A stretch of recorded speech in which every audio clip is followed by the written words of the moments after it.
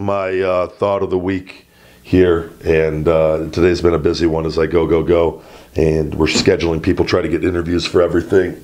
Today's been a busy day, but that's part of it. It's better to be busy than not to be busy, right? I got this book here um, by John Kavanagh that uh, called Win or Learn.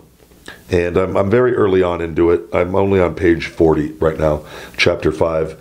Uh, but he's the guy who works very closely with Conor McGregor, and I haven't. I'm really excited. I haven't even got to the Conor stuff in here yet, and it's getting it's coming up really close.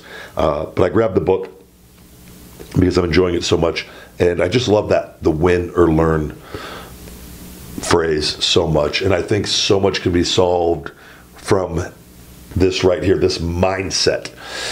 So, what am I talking about? Now, if this was win or lose, that's an entirely different thing. And losing typically can have a lot of negative um, associations with it, a lot of negative things associated with the term losing. Uh, we see it, uh, and a lot of it has to do with the person's mindset uh, of what happens. But if we are able to get rid of that term losing, and no matter what you believe, winner, loser, but, but winning and learning that, okay, you lost but not letting that be the focus of it. That it's win or learn. That you're able to, if a situation doesn't go your way where you're quote unquote the winner, that you're able to learn and grow from it and be better for it.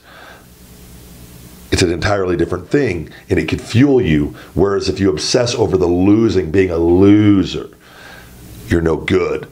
You know what I mean? You weren't good enough you're not learning from it. You're dwelling on the negative, where when you have a win or learn mindset, you're able to shift into a positive of, okay, what happened? What am I learning from this? What can I do better in this? And you can apply this to any aspect of life, any aspect of it. And where you put yourself in a position to maybe where you win the next time, or that if you don't, you learn even more and you put yourself in a position to win the next time. And maybe you never, ever actually, quote unquote, win at what you're trying on that, but you continue to learn and get better and grow you're moving in a positive direction. And uh, I just think it's such a, a brilliant, simple thing win or learn. And you don't let fear control anything. I think it also allows you to put yourself in positions of going for it more often because you don't got to win all the time, guys. You just got to win once. Too, you can lose and lose and lose and lose, but if you keep going and then on that hundredth time you win, you can be set for life but you don't let that losing, that fear of losing, stop you from going for it.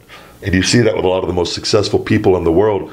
You know, even when you look at the Conor McGregor, the things he puts himself in, where a lot of people, you see it with people in MMA, they lose a fight or two and they, it's not the easiest thing to overcome. And Conor is suffered some a couple significant losses, and he's able to bounce back from it because he's not afraid to put himself in that position because he's winning or he's learning and he understands that mindset and he takes chances because he's not afraid of losing. He knows that the worst he's going to learn. Does it make sense? And I love it. I think it's a really powerful thing. And if we could, you know, brilliant. And I, I, can't wait to, to finish this book. And this, check this out, guys. You can get it. I got this on Amazon. Win or Learn by John Kavanagh. And I hope I'm pronouncing that right. I'm very familiar with him, but pronouncing the last name. It's uh, brilliant, brilliant guy, and uh, very glad somebody recommended that, and I don't know who, but it, it's one of the. I'm enjoying the book, book thoroughly. Yo, thank you guys for watching Ryback TV. If you could check out my Shooting Blanks Wrestling Report every Monday on all podcast platforms, Conversation with the Big Guy Ryback every Thursday morning on all podcast platforms, and Feed Me More Nutrition, my personal supplement line, available on feedmemore.com and Amazon. Save 10% with discount code YouTube10 and save stupid. Why couldn't you? Almost had it. I almost had the whole video done in one take.